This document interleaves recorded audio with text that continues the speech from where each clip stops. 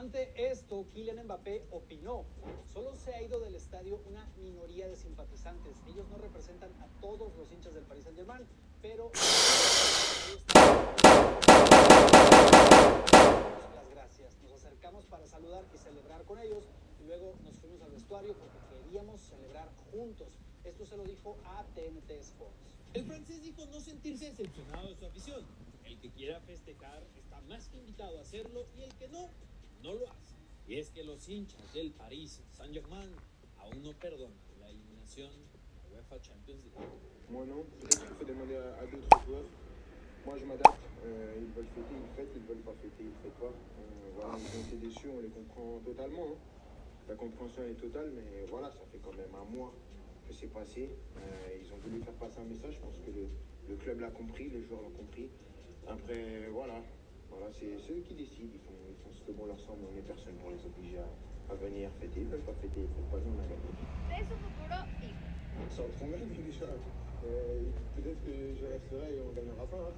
Non, non, non, je savoure celui-là, déjà, je savoure toujours l'instant présent, c'est le plus important. Ya saben, crack, su futuro es aún una incógnita. De hecho, Leonardo, director deportivo del Paris Saint-Germain, dijo a Canal Plus, lo que dice Kylian es verdad, está pensando. Creo que hay posibilidades de que se quede y también de que se vaya, pero creo que realmente está reflexionando. Según revela The Mirror, la fecha en la que se tomará la decisión de su destino será el 21 de mayo, tras el último juego del Paris Saint-Germain en la Liga 1. Cada día les tenemos videos con la mejor información del fútbol europeo. No te pierdas ninguno de nuestros videos. Suscríbete.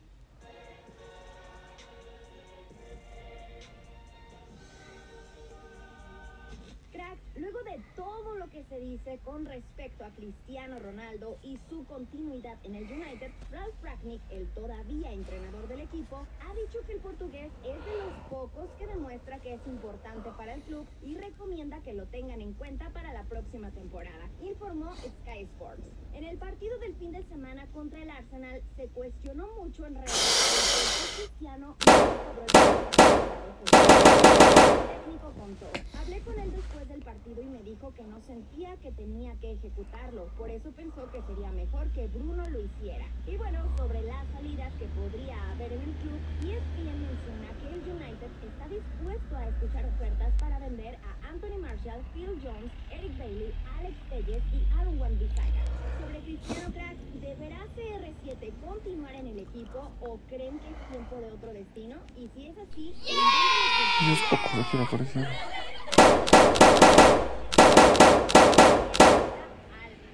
Los Citizens vienen de golear en la Premier, pero el Madrid llega con más descanso y varios puntos de ventaja como líder de la liga.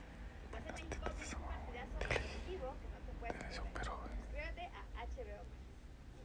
Previo a este partido de semifinal, Carlo Ancelotti y Fede Valverde han hablado en conferencia de prensa. El técnico del Madrid informó que Mendy está bien para el partido, pero con quien hay más dudas es con David Alaba y con Casemiro. David Alaba es mucho más probable que sea tomado en cuenta, mientras que el brasileño, de no estar para la ida, seguramente estará para el enfrentamiento de vuelta. Carleto también dijo que nadie creía en que su Madrid podría llegar a semis. Me acuerdo de lo que se decía al principio de la competición. Era lo que pensaba la opinión pública. Hay dos equipos en semifinales que nadie pensaba que estaríamos aquí. Real Madrid y Villarreal. Siempre lo he dicho, el Real Madrid va a competir y luchar al 100%. Aseguró que la eliminatoria se decidirá en el Bernabéu, en la vuelta. La eliminatoria no la vamos a sentenciar mañana. Tengo la duda de si jugar con dos delanteros o con tres. Jugadores como Rodrigo han aportado mucha energía. Fede Valverde, por su parte, dijo: El City lleva muchos años trabajando juntos, saben lo que tienen que hacer, el trabajo después de perder el balón. Siempre están luchando por todos los títulos. Hay que estar preparados para combatir su juego. Por el lado del Manchester City, Pep Guardiola sabe que tiene que jugar dos partidos excelentes si quieren ganarle al Real Madrid. being there in the last stages with the best teams in, in the world, in Europe, being here, it's it's now. It's now try to be ourselves, compete good, and we, we have to do two exceptional games to to, to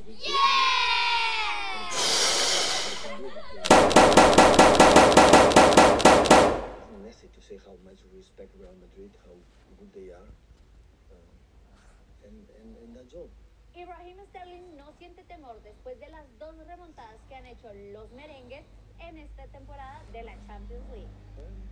Say that's that's necessarily the case. Yeah, they have lost a couple of games with some you know goals um, later on, but um, I said we have the players um, that's been in you know high pressure games um, to know how to deal with them and um, come um, beyond that, I think we'll, we'll be fine.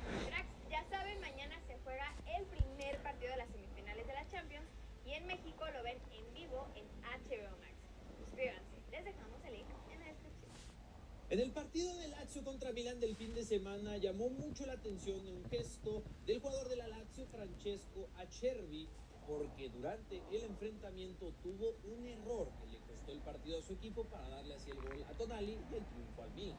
Este gesto traducido en una sonrisa hizo molestar bastante a una de las aficiones más complicadas del fútbol italiano, la Lazio, así que el jugador tuvo que explicar por qué hizo esto.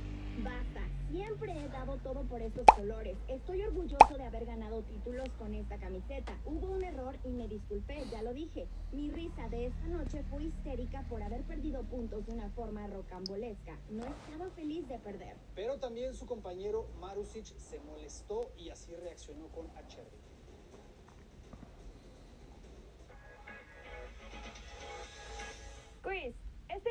Celebración fue obra de uno de los mejores jugadores en la historia. ¿Saben de quién se trata y cuándo la hizo?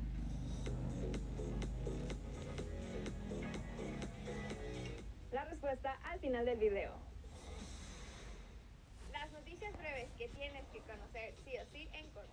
Esto es también de todos aquellos que nos ayudaron a superar los momentos más complicados, de los que nos sacaron del pozo de la segunda división y empezaron a construir un. Compartieron en las redes sociales del Betis luego de conseguir la Copa del Rey frente al Valencia. Los verdiblancos festejaron el campeonato con un desfile por las calles de Sevilla para celebrar su tercer título de la Copa del Rey. En Pamplona vimos que era humano con los dos penaltis que no pudo marcar, pero eso puede pasar si al final ganamos queda en anécdota. Está a un nivel increíble, ha marcado muchos goles importantes. Todos estamos este año a un nivel muy alto, pero si no somos un equipo no funciona. Esto dijo Thibaut Courtois en su podcast sobre Karim Benzema. Informa el diario Sport que Sergi Roberto ha aceptado la oferta de renovación con el Barcelona y firmará por un año más. El director del Bayern dijo a Sky 90 sobre Neuer y Müller. Espero que se queden todo el tiempo que puedan jugar. Tuvimos muy buenas charlas. Héctor Herrera y José María Jiménez del Atlético de Madrid ya entrenaron al parejo del equipo luego de estar fuera por lesión. Leslie, ¿cómo están? Por 34 en la Serie A, fue nada más y nada menos que el Sassuolo recibiendo a la Juventus. Comenzó ganando el Sassuolo con gol de Raspadori al 38, Paulo Dybala 34 puntos. Es que esta es una de las ligas que está que arde al igual que la Premier, ¿no? Milan 74, Inter que tiene un partido menos, ojo,